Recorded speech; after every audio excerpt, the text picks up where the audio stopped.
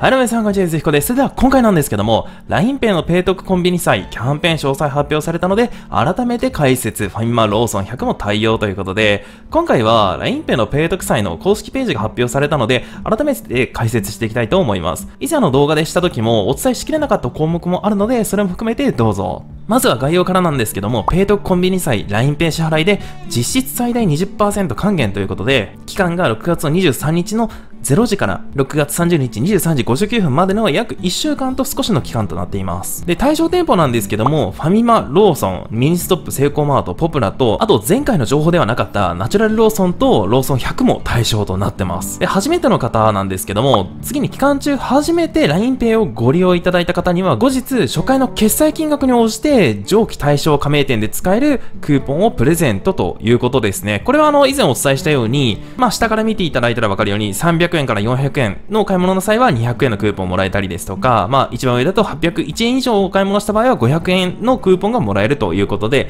これはお一人様1枚限り。なので、初めて LINEPay デビューをされる方は、まあちょっとお得だなというふうに思います。で、今回の LINEPay ボーナスの上限は1000円までとなってますので、まあ6666円分のお買い物をすれば上限まで達するということことになってます。で、今回のキャンペーンの対象外となるものですね。もうこちらご存知のように、お酒、タバコ、金券などとなってます。で、一応あの下の公式リンクも貼ってますので、そちらもぜひご確認してみてください。ちなみに補足なんですけども、僕、これはもう僕自身がいつも心がけてることなんですけども、キャンペーンだからといって上限マックスまで使うということではなくて、まあ普段使ってるお店でキャッシュレスに切り替える。なおかつキャンペーンを使うっていう感じに使ってます。意外とこれシンプルなんですけども、ちょっと難しいんですよね。結構やっぱりキャンペーンだからといって大盤振る舞いするってこともあったりと思うんですけども、まあ特別な日はいいと思うんですけども、これを常に常に使ってしまうと、やっぱり浪費になっちゃうんで、そこはちょっと気をつけた方がいいと思います。なので、例えば今回のペイトクのコンビニ祭の場合は、普段ファミマやローソン使ってる方がいましたら、それを現金から LINEPay に切り替えるだけでちょっとお得に使えるので、